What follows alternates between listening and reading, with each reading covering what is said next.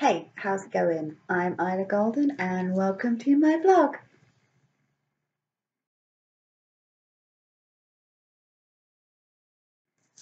Alright, okay, so still don't know when I'm going back to work.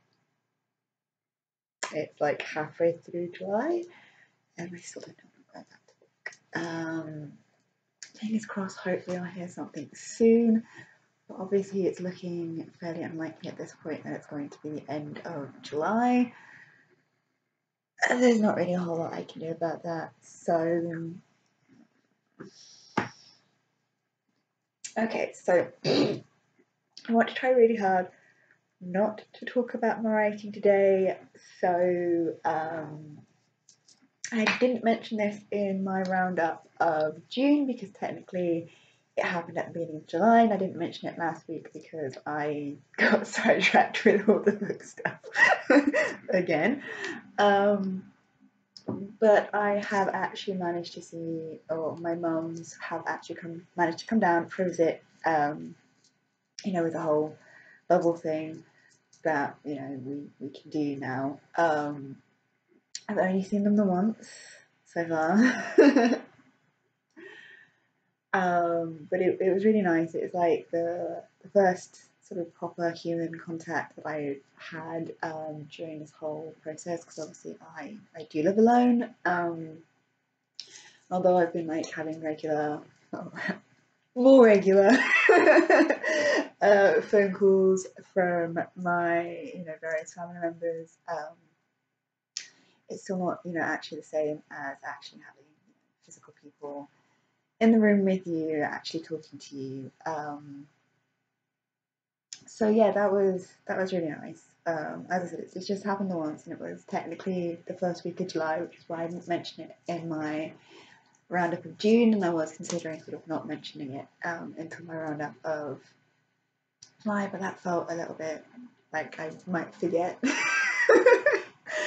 um, I mean, as I said, it's um, it's one of those things where, you know, I'm, I'm an introvert. I've talked about this before. I'm definitely an introvert. I don't need, you know, to be seeing someone every other minute or talking to someone every other minute. I mean, I'm, you know, regularly in contact with um, both my uh, cover guy, who is a friend of mine, as I've mentioned before, and obviously the wonderful Jade. Um, we, I'm usually talking to to both of them at some point online during the day, but it's online. So it's messages rather than actually, you know, hearing a voice or seeing a face. um, yeah, I, you know, I, I am in sort of fairly regular contact with you know, a couple of people where I'm talking to them on a daily basis, but it's still it's still not the same as actually sort of like having somebody around. But you know, for somebody who's a low energy introvert and doesn't necessarily want to be having to come up with something to say every other minute. You know, it's um, definitely one of those things where you kind of enjoy, you know, just the the slower pacing and the freedom that you know messaging people gives you, where you're still having human contact, um, but it's not necessarily a stressful level of human contact for someone who is highly introverted. Um, I'm highly introverted. I mean, um, it's been like about two weeks since my mums came down to visit. They didn't. I, I didn't. I didn't phone them last week. I didn't see them last week. Um, literally the week went, and I was something like, "Oh, we're we're we're on another week. In fact, we're at the end of the following week, and I still haven't contacted them or had them contact me. And I actually just haven't thought about it. And that's that's kind of a little bit what it's like for me being an introvert. It's not so much that I, I don't care about these people in my life but I don't want to talk to them because I do enjoy talking to them when I get the opportunity to. It's more a case of I just don't think about it. If I'm, you know, if I'm on my own and I'm spending that time on my own, then I'm just not really thinking um, about it, and I'm not necessarily sort of looking to to make that connection. Um, because I don't get that sort of definite sense of, of loneliness. Um, like even even sort of now when I'm kind of like getting to the point where I'm like, starting to feel it a little bit. I'm still able to go like two weeks with, no phone calls to anybody. I'm so I'm so bad at keeping in contact with people. I apologize to people in my life. It's not, it's not I don't want to talk to you. Is that I just get so focused on what I'm doing that I just don't. I just really don't think about it.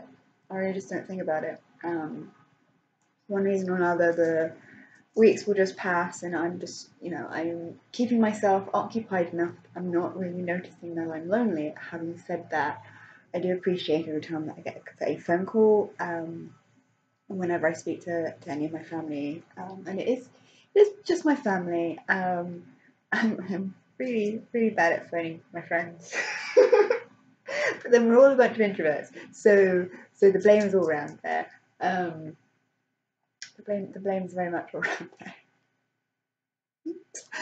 um, yeah, it, you know, I just it will just happen. It will just happen where I'll, I'll go a couple of weeks where like literally my only social contact will be online at the moment and as I said I'm not I'm, I'm doing enough to sort of stave off the feeling of loneliness more than anything else which is easy to do as I said because I am an introvert I am more naturally inclined to being um, on my own or in, in a sort of solitary situation but obviously my, my day job was very much all about people.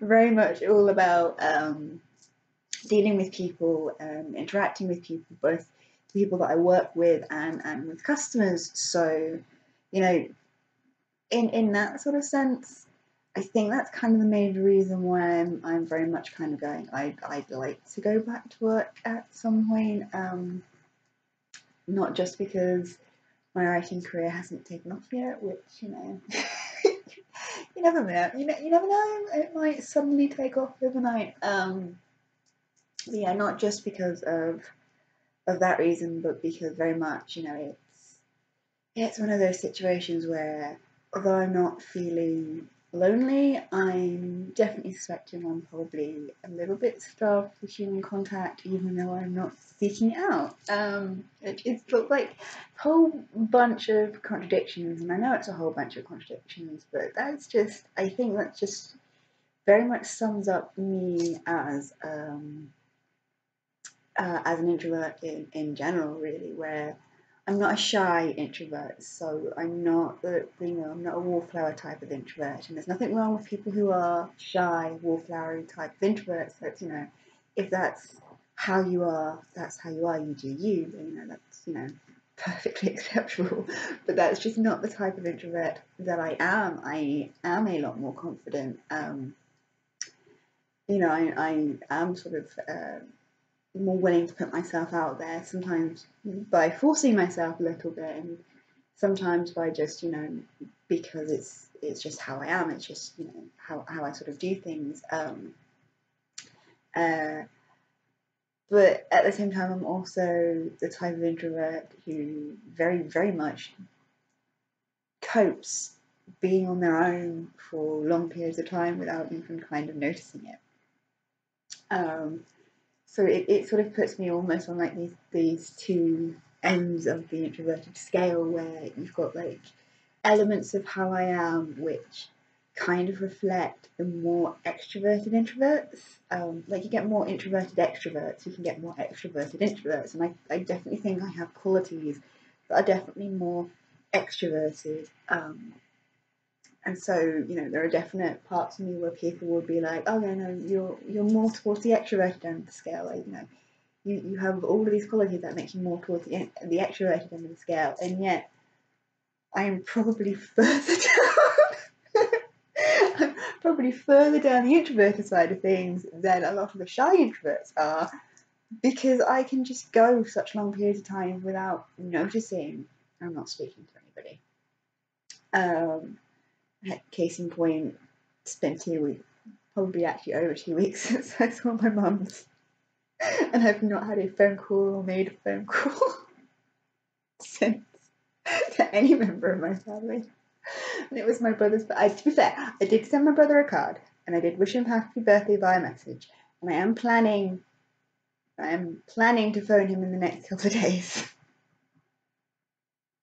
if I remember. The thing is, is I, I meant to do it yesterday. I wasn't going to do it on his birthday because I knew he was going. He'd gone to the beach, and I knew that I'd give him a much shorter period of time. And I know, uh, especially because um, because my niece is is coming up for her first birthday, that you know the phone calls to him are probably going to be slightly longer because they're also going to include uh, a little bit of catch up with with how my little niece is doing. Um, so I didn't, you know, the the plan was always sort of know, if he's if he's free during the day, then I'd have phoned him on the Friday. But the second I learned he was going to the beach, I was like, okay, I'll wait till Saturday. And then it got to about seven o'clock Saturday evening, and I'd realised I'd forgotten.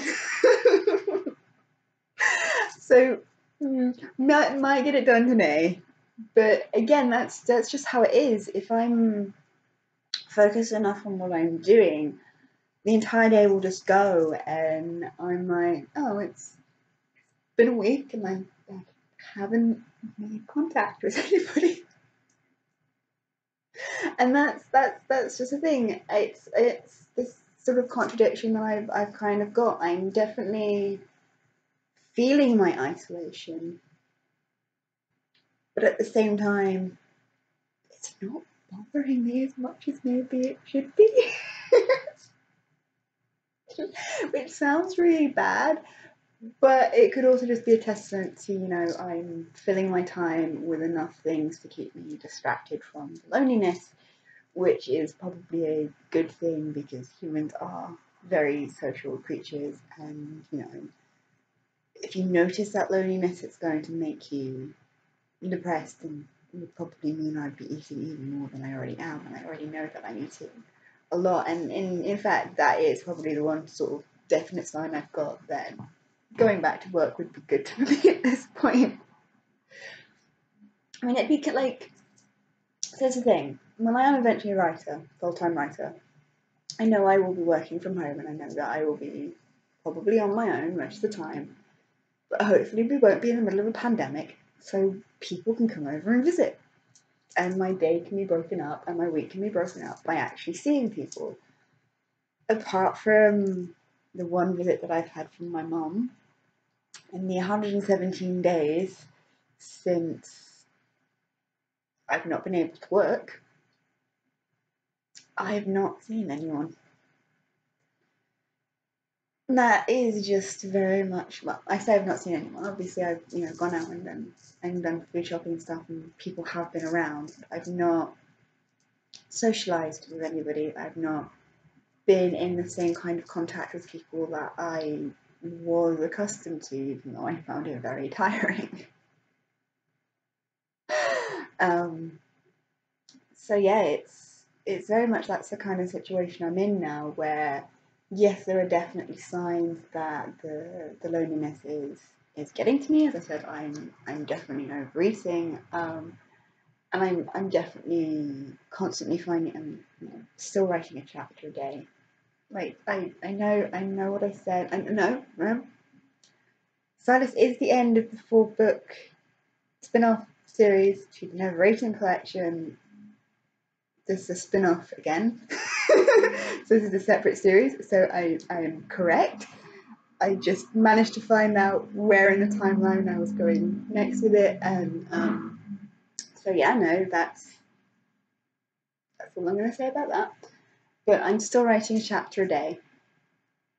I think because there's nothing else to do with my time. I mean, yeah, okay, I could uh, I could concentrate more on the editing side of things. I could be getting more reviewing done. Um, there, there are other things I could sort of do, but having to sort of like sit and concentrate on on everything in a particular kind of way and at a particular kind of level where you're sort of very active in the process. Because that, that's the thing when, when you sort of when you're sort of reading slash listening to something that you're going to review, it's a very passive experience up until the point where you actually um, come to, to, to review it yourself. Um, when you're going through and editing, yes, there is an active component to it, but it's a much more passive process than the actual act of writing is. Sitting down and, and doing that amount of writing is a very active process. It's a very, it feels like work. Good work, but it feels like work in a way that, you know, just doing the editing didn't really feel. And obviously, I do have the comparison because the first month I was non-stop editing the two books that almost both have covers now. There's like a little tiny little little tiny bit that needs this will be done to the second cover, and then I'll have the covers for both of them. Um, yeah, that first month was just non-stop editing, just absolutely non-stop editing. Um, where I was like literally, I was going through. I, I think like at the fastest, I was going through both books in like four days, and then having a break, and then going back to it again, um, and you know just for, for another and another pass and another and another pass. So yeah, I I definitely feel like I need to do stuff that feels like working. Um, so again, I could be doing that with the editing and feeling like that editing process is that same kind of, of work and intensity because I know it. I know it definitely can be, but at the same time, it's kind of like I've got this this huge amount of opportunity to just write and and and produce more things. Um, so I've got the option of uh, it, it's like if I knew, I think I think that's the thing. If I knew this was how things were going to remain because I was making enough money off of my writing to be able to just do the writing full time, I would be a bit less okay, I need to start doing the next writing project now, I need to start doing the next writing project now. I think it's because I've got this sense of well, at some point I'm going to have to go back to a day job, so I'm going to no longer have these long expanses of days that need to be filled uh, with, with time. I might as well use it for writing all of these projects and getting as much backlog there and ready and waiting as I possibly can. Um, because you know why not? I've got the time to do it at the moment. Um, it's not necessarily the best way of thinking about it, but I've been very productive. I have completed four books. I have completed, like, started and finished four books in the time that we've been in lockdown. Four. Four complete books. I finished another one and I've started two more. One which is a slum burner. Um, where I, I, you know, that that's fine. That's what I will, you know, that will be my main project once I go back to the day job. Um, and one which will be written at the one chapter a day pace, and is I'm writing the third chapter of that today um, when I'm filming this. So I think it'd be like chapter seven or eight by the time this one goes up. This vlog goes up. Um, but yeah, no, it's it's one of those situations where I'm like, I don't, I don't know how how much longer this opportunity will will last. And obviously, you know, once I am able to become a full time writer, you know, I will know that oh, actually, I've got all of this time in the world. Um, I can take things at whatever speed I need to take things out. I don't need to sort of cram everything into this very short span of time. Um, which is I think kind of what I'm feeling a little bit at the moment, where it's sort of like eventually I'm going to have to go back to the real world. Eventually I'm going to have to go back to work. Um, still don't know when.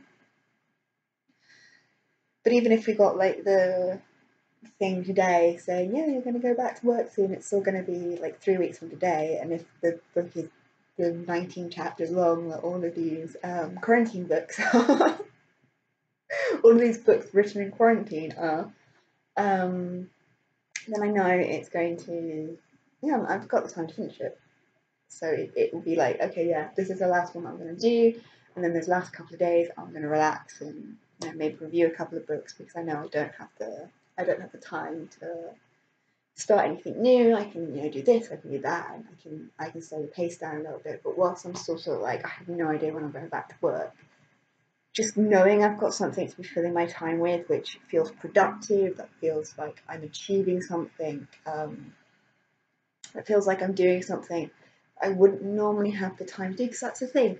I would normally, like with, with the the editing of the two books, uh, the two Dollmaker Slum books, I was doing like you know, my, my days off were spent just doing the full edits of it, so it's it's kind of like that's something I know I can be doing in and around working. It was something I was doing in and around working, you know, and putting it in and doing like the editing of the evening and stuff like that. And you know, doing the, the slow burn writing of the morning, I know that's that's that I've got the time to do that. I can do that around my day job.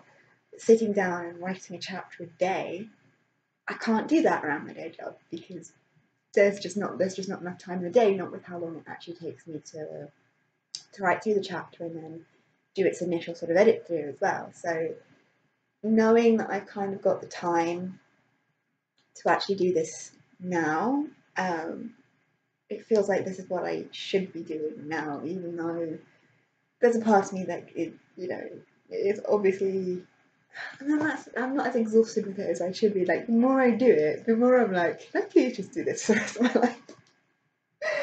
um, but, you know, having, having said that, if I knew I had like the time, I would have been like if if, after finishing Silas, I was like, well, you know, I'm I'm a full time writer now. Um, I would probably like go, okay, I'm going to take time to sort of concentrate on doing this a little bit, um, and you know, let these other ideas mull over a little bit, um, before actually sort of like set, setting down and, and writing anything else. But because I'm like at some point oh, I'm going back I'm going back to work, I need to use this time that I have to my advantage whilst I whilst I have it, what is the most productive thing that I could be doing? So that's that's the other thing. If I knew I was writing full time, I wouldn't be writing a chapter a day.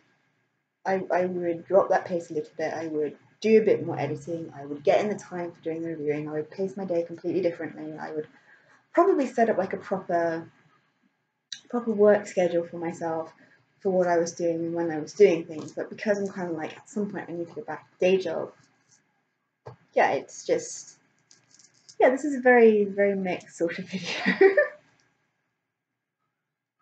I apologise. I sort of, sort of started talking about one thing and then got sidetracked and started talking about something else. Um, I think I will end this here before I bubble my way into the third topic. Uh, especially when I, I think I'm sort of like randomly am sort of in ways kind of contradicting and then uncontradicting myself. So, you know, it's, it is what it is. Um, okay, so um, I hope you guys have enjoyed this one, even though it's sort of been like rambly and the first half almost has nothing to do with the second half. Um, I hope you guys are looking forward to seeing what I'm talking about next time fingers crossed that I get the news for when I'm going back to work between now and then, and I will see you guys next time. See ya! if you've enjoyed this video, feel free to check out some of my others, and if you like what you see, please like and subscribe. See ya!